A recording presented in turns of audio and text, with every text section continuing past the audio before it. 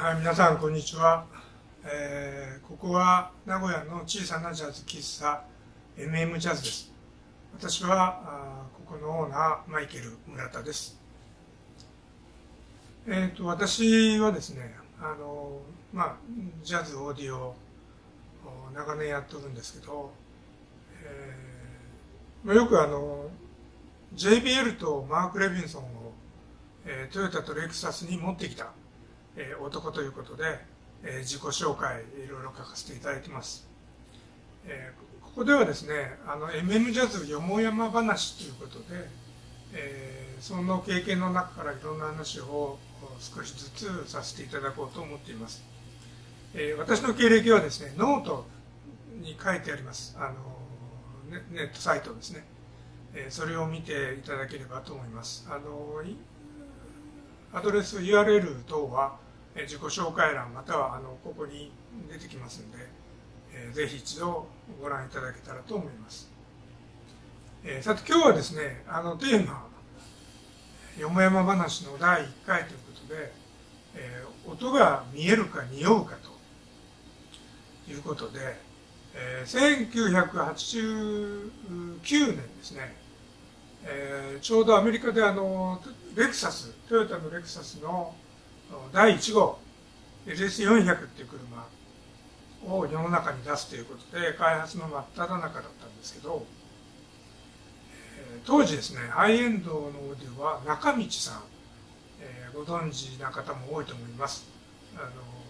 カセットデッキの素晴らしい高音質のカセットデッキで、え名前を売ったオーディオメーカーさん。この中道さんとですねあの中道ブランドのオーディオをレクサス LS400 に搭載するということで共同開発をしていました。中道さんにですね名前言っていいのかな？小林さんっていう素晴らしいエンジニアさんがいらっしゃいました。もう神の耳を持つ、えーこの方とですね仕事をしていた時にある日ですね小林さんが村田さんなんかねツイッターがゴム臭いんだよ。とおっしゃるんですね、えー何をおっしゃってるんだろうと思ったんですけどこの車のツイッターグリルがございますね。そのグリルプラスチックの内装材なんですね。あのでそこにパンチングメタルが入って、えープラスチックの部品。これのなんか接着剤が以前は樹脂系の接着剤だったのになんか今ゴム系に変わったんじゃないかと。で自分は樹脂系の音でチューニングをしてきたのに、えーこう変わっちゃ困るなと。でどうなるのとおっしゃるんですね。で日本の内装設計に問い合わせたら彼らも知らないと。で実はその大変細かいあの接着剤の使用なんであのゴム系とか樹脂系とかっていうあまりその細かいとこ見ておられなかったみたいですね。設計の方も。で実は変えてますと。メーカーさんに問い合わせたら変えてましたと。これね考えられないですよね。もうツイッターの音を聞きながら、えーなんかゴム臭くなったね。それがあの接着剤をちょっと少量の接着剤を樹脂系の接着剤からゴム系に変えただけだ。これがわかると。これどういうことなんだろ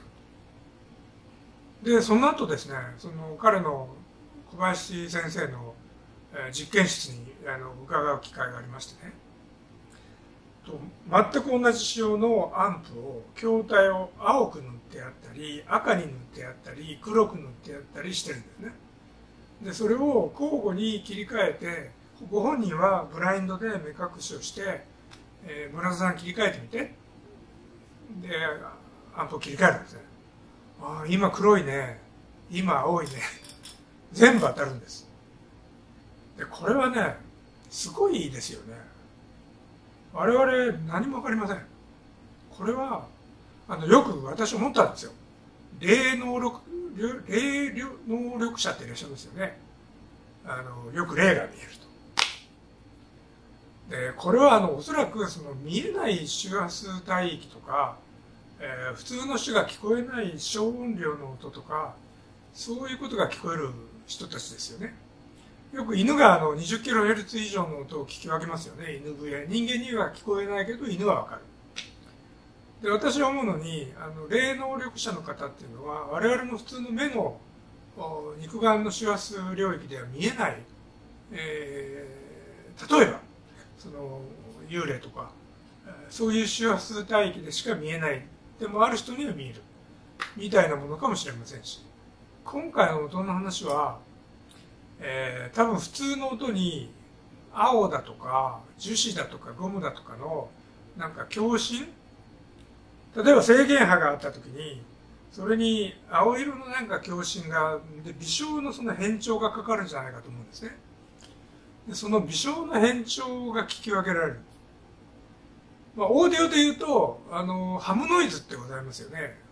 60Hz の電源の音が、えー、ブーン。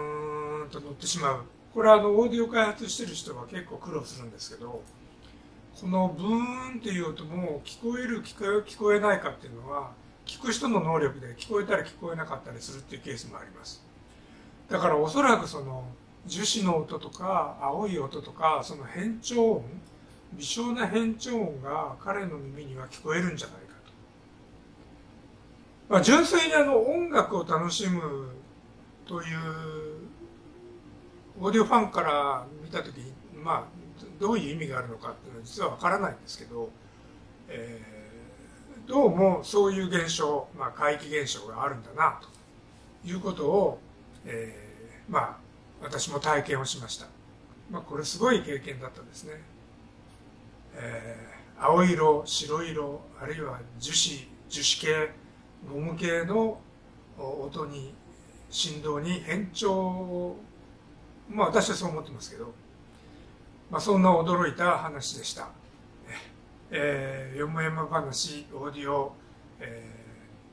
ー、第1回目です。あの変な、えー、音は匂いがあるいは見えるのかみたいな話でございました。えー、次回はですね、えー、90年代89年から90年代初頭のえアメリカのあのジャズジャズライブハウスの話なんかしてみようかなと思っていますけど、えー、予定変わるかもしれません。その時はごめんなさい、えー、第1回目よもやま話でした。お付き合いありがとうございました。名古屋ジャズ喫茶 MM ジャズマイケル村田でした。ありがとうございました。